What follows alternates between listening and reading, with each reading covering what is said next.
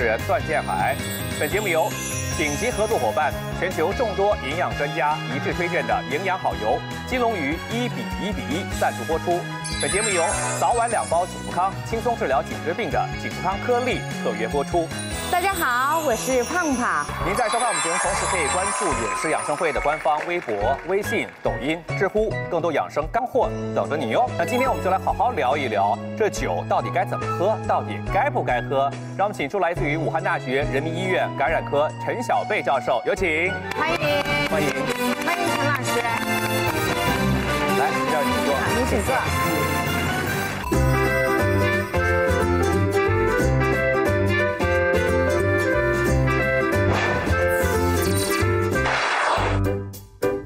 一次醉酒竟然损伤这么多器官，睡前饮酒真能帮助睡眠？想喝酒又怕伤身，安全饮酒量你记住了吗？喝酒前后吃啥才靠谱？喝酒喝到吐，出现这些反应，请赶紧就医。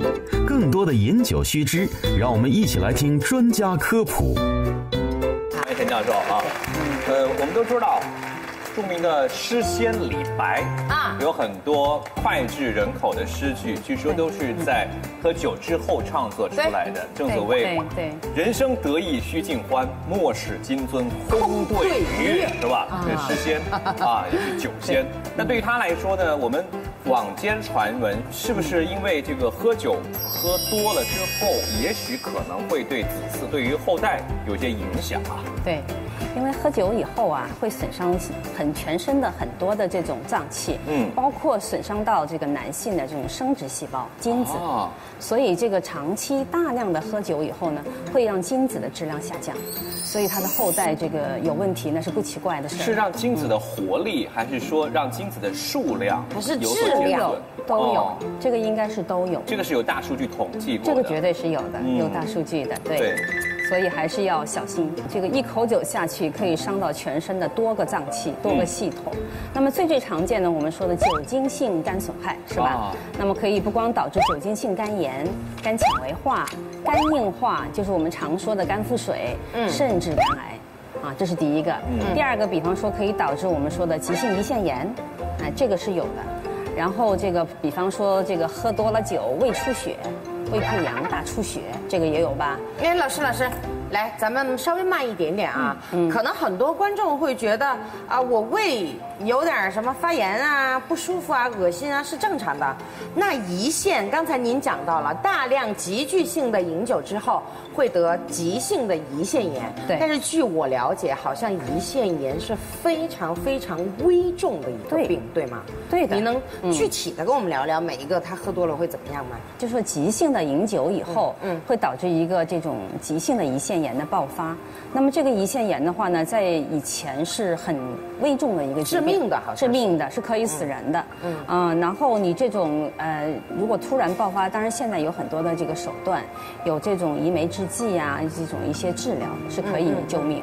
但是你如果反反复复，啊，最后导致一个慢性的胰腺炎，这种长期的胰腺的这种炎症，最后可以导致胰腺癌。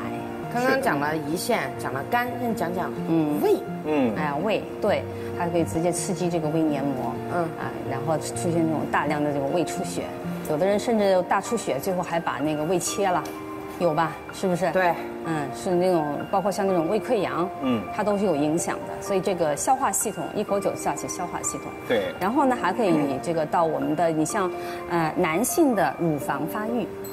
啊，男性乳男性的乳房发育，为什么你会提到是男性的乳房发育呢？喝酒了以后，时间长了，形成肝硬化。嗯，肝硬化了以后，体内的雌激素的水平，它的灭活的水平会下降。因为正常的这种男性，他应该是这个雄激素的更高，雌激素低。但是他这个。因为肝脏对雌激素的灭活减弱，所以雌激素水平就高起来了。哦，那在这种情况下呢，就会有乳就有女性的这种性征出来，乳房就会发育。您的意思是以后不需要去健身房练胸肌了，是吗？啊，那不是胸肌，这个不是胸肌，那不是。但是它可能会引起局部的这个女性化的特征，对吧？会。对对，所以这个是要注意的。嗯。然后还有一些其他的一些脏器的问题，脑子、脑子，对对。说的非常好，主持人，这个引起这个呃，比方说记忆力这种下降，包括反应迟钝，包括喝酒了以后过了两天，为什么我们要这个开车要禁酒呢？就是因为它会影响我们的反应，这样容易判断。有的时候零点一秒、零点二秒的判断是非常重要的，至关重要的。所以你万一要是喝了酒，就会很容易出事儿。我看到您这给的这个图表当中，竟然还有伤害骨骼的。对，对骨头会有什么影响吗？因为大量的酒精这个喝进去以后呢，它会导致钙的流失，哦，那么就是骨质疏松啦。不是说常喝碳酸饮料才也许会引起这个骨质疏松，然后酒也是这样的。酒也是的哦，所以长期喝酒的人他容易骨质疏松，嗯，所以这种也是需要去补钙呀，晒晒太阳啊，啊这样子，喝牛奶呀，这样。好像长期喝酒对血压也会有影响，对吧？对，容易形成高血压，酒精容易形成高血压。那这个嗯，喝酒的人他这个一喝啊，有的时候一高兴，血压容易高，这个也有，所以也是要注意的。嗯，所以说除了对这些脏器会有影响之外，我们经常听的更多的。就是说，酒精容易导致酒精肝啊，最后可能会变成肝癌呀。对对，他可能会喝一些劣质酒、廉价酒。那么这些劣质酒可能里面有一些致癌物。是的，是为什么？就是长期喝酒的人，他这个会比一般人更容易打鼾。除了体型之外，嗯，酒精它导致肌肉的松弛，这个口腔嘛，这个肌肉的松弛，松弛了那个舌根后坠，挡住了我们的呼吸道，对，所以说到底，呃，这个睡前喝酒。哪怕是小酌一口，是吧？它是不是会对于这个睡眠有一定的促进作用呢？啊，这个酒精来讲不太不太推荐，嗯，不太推荐用酒精来助眠，嗯啊，不推荐，喝点牛奶挺好的。对。然后那这个还有一点就是喝酒这件事情，有些人他可能容易上脸。有些人他可能不上脸，对，是吧？有些人容易脸红，有些人感觉到好像我从他的脸脸色就能判断出来他是不是很能喝。这里面有什么讲究吗？有，嗯，我们是平常这种酒精的分解的时候呢，它是有两个酶，第一个叫乙醇乙醇脱氢酶，第二个叫乙醛脱氢酶。那么第一就喝酒红脸的人呢，他是有第一个酶没有第二个酶，所以他的酒精分解到一半就是到乙醛这个地方，就在肝脏里头，然后靠肝脏慢慢慢慢的把它排泄。所以他的那个就会红脸，这是第一种喝酒脸红的人。然后第二种就是。我们经常说有酒路子的人，听说过没有？啊，一边喝酒一边出汗，啊，然后就是出很多的汗。我们说他有酒路子，这种人很幸运，他是两种酶都有，都有是吧？对他两种酶都有，所以他能够把它代谢掉。他就是因为在代谢的过程中间产热，所以就会出汗，大汗淋漓，一边喝酒一边代谢，俗称千杯不醉是这种人。哎哎哎，这种酶，它有没有可能像？补充益生菌一样，通过一些什么食物来补充一点有吗？目前没有，还没有发明出来。有人说：“哎呀，我可不可以练？”啊，对呀。啊，我练习一下，我今天每天喝一点点练习。但是其实每个人的体内的这种酶的水平是差不多的，相对固定的，所以不会说是你越练越大的。嗯。但是的确有一些人，你发现没有？嗯。包括我们有一些朋友，刚开始年轻的时候不太能喝，每喝每喝一回必醉。但是到后面慢慢慢慢，他能喝了，他特别能喝了。到现在，有这种人，但这种人他其实是锻炼的是这种中枢神经系统，对对酒精的这种呃敏感性哦，越来越低了，哎，越来越不敏感了，越来越不敏，越来越耐受了，或者说是叫耐受了。所以这种人呢，你就感觉他千杯不醉。但是呢，这种人他是靠那个什么呢？他是靠体液来稀释。嗯啊，他就两种酶都没有。反正有两种酶压身的，啊基本上是属于有酒路子的，可以这么理解吗？对对，有酒路子不一样。我们不是提倡大家喝酒，但是可能大家也想知道自己到底是不是有酒量，自己的酒量是不是真的可以练出来呢？别急，待会儿告诉您。这个歌手赵传啊，有一首非常著名的歌曲。对。我很丑。可是我有音乐和啤酒，是吧？啊，虽然音乐我唱的不那么好听，但今天酒来到现场，涉及到平常大家在喝酒过程当中啊，这个酒量一直是大家比较在意的。我到底能不能够练出来，是吧？这个酒量到底怎么来衡量？我每天的安全饮酒量到底是多少呢？你给我们科普一下。嗯，一般来讲的话，每天喝的酒有一个安全度。在这个安全的刻度以下啊，一个星期一到两次是没问题的啊啊。那么是多少呢？我们来倒一下，好吧？好，可以。好，首先我们来看看红酒。嗯，胖胖喜欢喝红酒，对不对？一百五十毫升。睡觉之前喝吗？睡觉之前。做梦吗？来 来来，你倒吗？好，谢谢。您您说好就好啊。哎，好，我说好。好的。慢慢来，还可以倒，还可以倒，还差五十。怎么样？我这个 bartender 不错吧？好，不错，好，够了，够了，够了，够了，够了，够了，够了。就差不多这种杯子半杯啊，就这样半杯，是吧？哎呦，这是在醒酒吗？对，好，就是大概就是这样一般的这种高脚红酒杯一半的样子。哎，就这种高脚红酒杯一半的样子。好，刚才说的是红酒，好了，我们再来看一看白酒。对，好，白酒的量是您给的是每天的量还是？这个是一次三十五毫升，一个星期一到两次。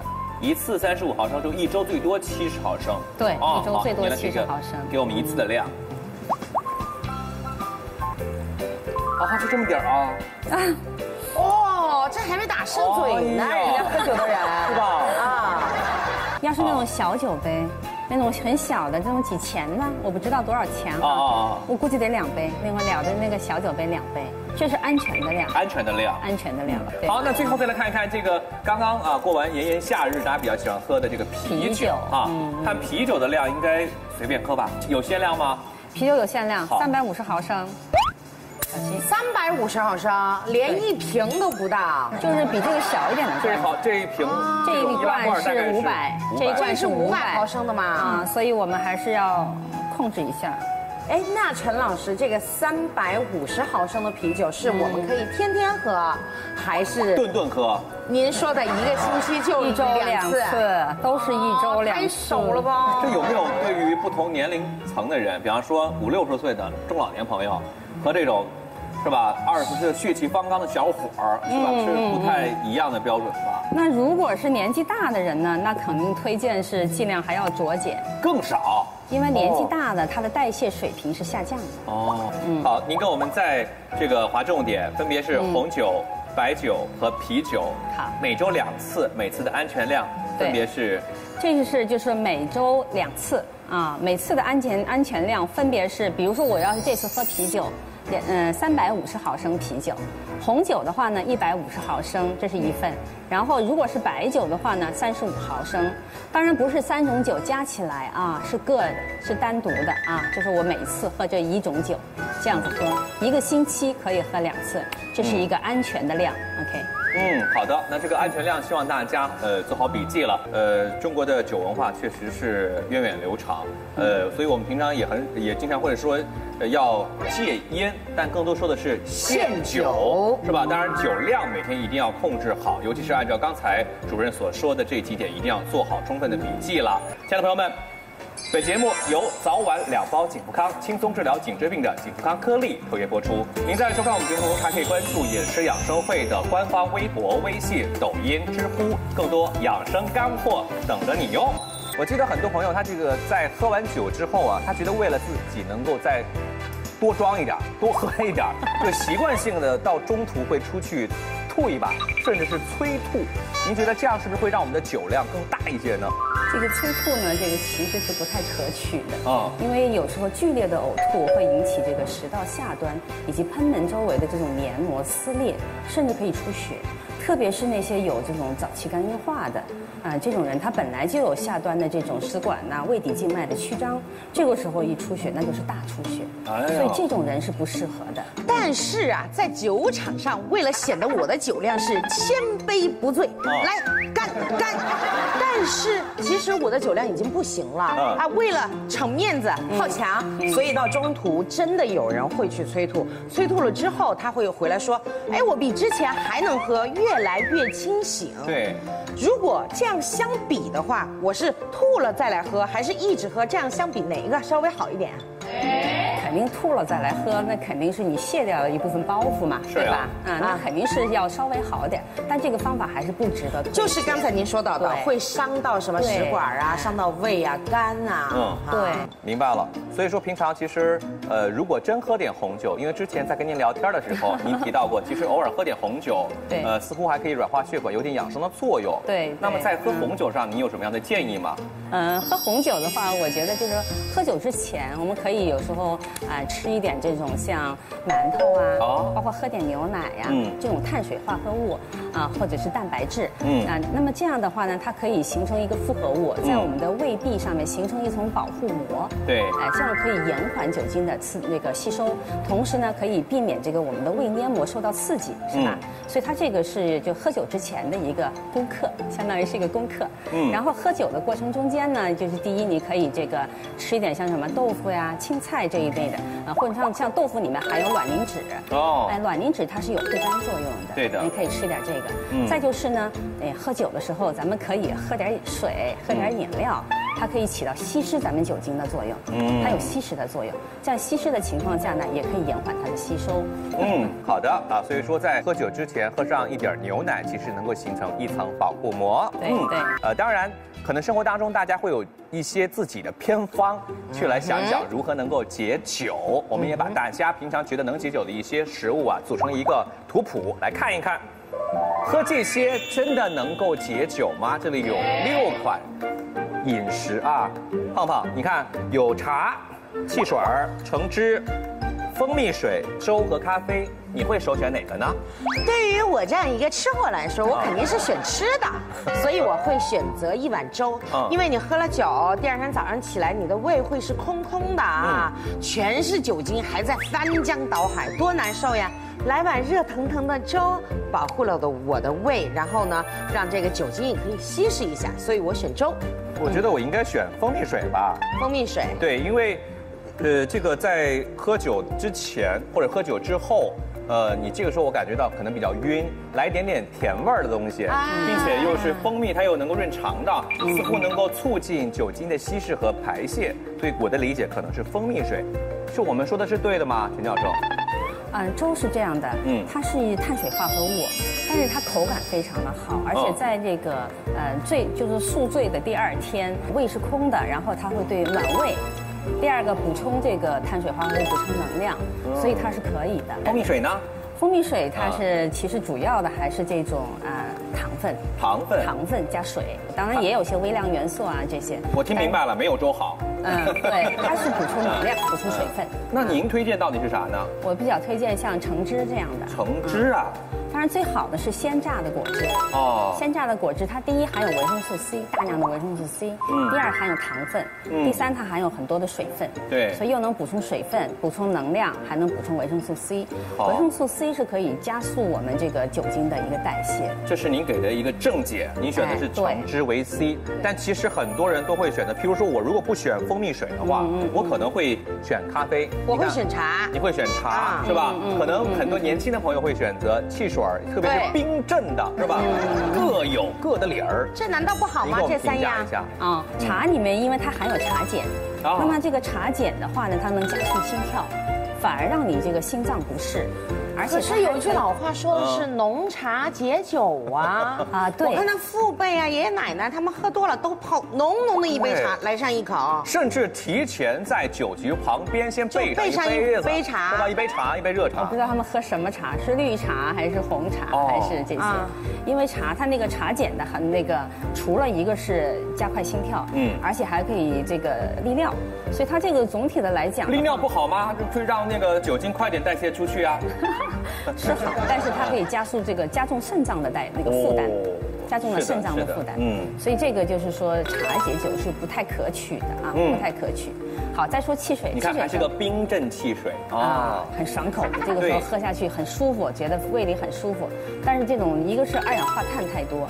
它会形成这个，呃，在对胃里面会形成刺激，嗯，所以这个冰汽水也不太也不太好，嗯。再就是那个咖，嗯，咖啡。说实话，我觉得很多人很喜欢，因为就算就算可能外国人不太爱喝白酒，对，但他们这个咖啡经常是伴着的，不然怎么会有美酒加咖啡这首歌 呢？对吧？所以那这个咖啡，其实我觉得是不是也可以提神啊？也可以让它迅速的恢复过来。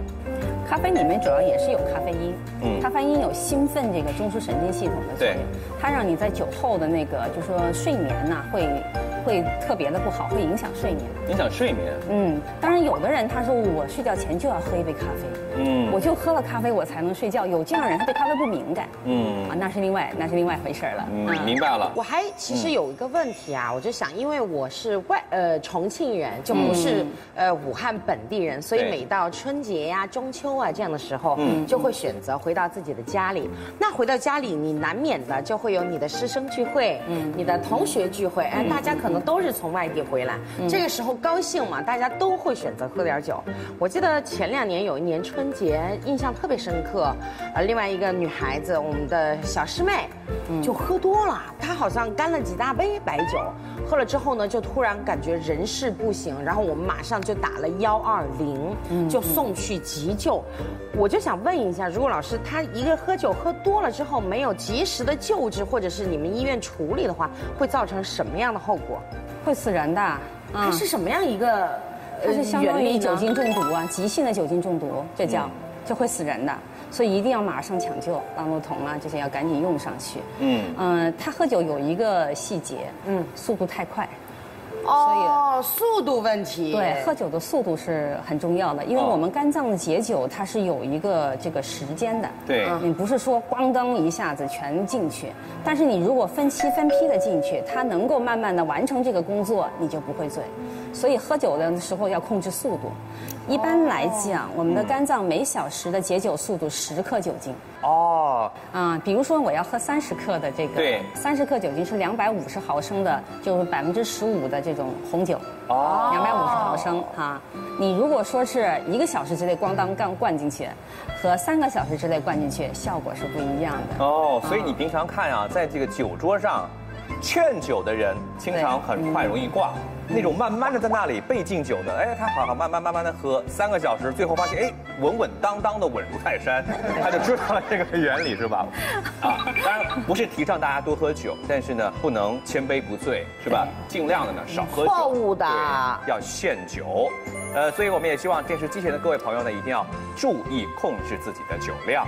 好的，再次感谢陈主任今天来到影视养生会做的重要科普，谢谢您。不客气。那接下来我们把时间交给胖胖，一块儿进入到今天的金龙鱼一比一比一健康厨房，看看有啥好吃的。美味也有讲究，口口都健康。大家好，欢迎来到影视养生会金龙鱼一比一比一健康厨房，我是胖胖。大家好，我是贤贤。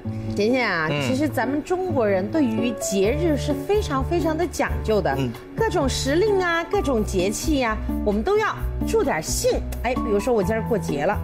必不可少的是啥？喝酒酒局。在你那一说就是酒局，你说的有文化一点儿。咱们是以礼仪之邦，喝酒讲的是助兴。哎，但是有时候呢，这酒喝多了呀，伤胃伤肝，哎难受。特别是第二天起来的时候，哎呦，那个悔呀，那个头疼。这说的是您自己昨天吧？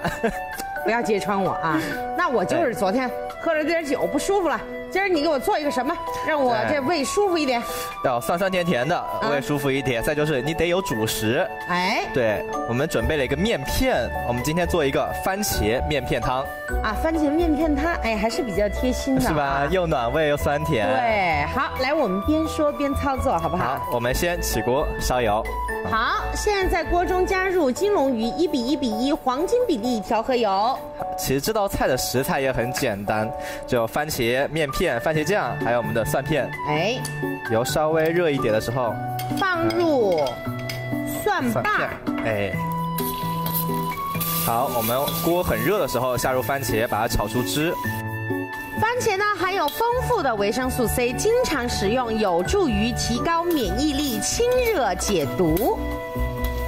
我们把汤做的粘稠一点点，好不好？嗯，那这个时候就要用到我们的番茄酱，不仅口味好，还可以让汤就像你刚刚说的变得更粘稠，更加的粘稠。这边呢，我们同时做了一壶热水，好，稍微翻炒一下，炒出香味之后，倒水。对。水的多少取决于你面片的多少啊，我们面片挺多的，那咱们多倒一点吧。好，好，我们要拿出一个木铲，为什么不用筷子呢？就怕把这个面皮划破了。啊，开水的时候你就赶紧下进去，然后赶紧划一下，让面皮不要粘起来。好嘞。好，在它煮的时候，我们再调个味儿，哎，调一点盐和生抽就可以了。放一点点生抽提鲜味儿，颜色呢也会更加的重一点点。喝了酒呢，不妨来一个这样的茄汁面片汤，帮助您保护一下您的胃，恢复一下您的活力。是的，好，我们现在直接出锅，最后撒上一点点葱花。油出好菜，金龙鱼一比一比一黄金比例调和油，连续畅销二十九年。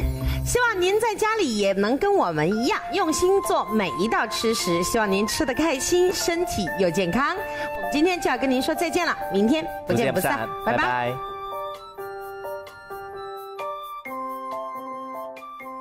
再次感谢陈教授今天做这影视养生会，谢谢您，谢谢谢谢。好的，朋友们，明天同一时间咱们不见不散，拜拜。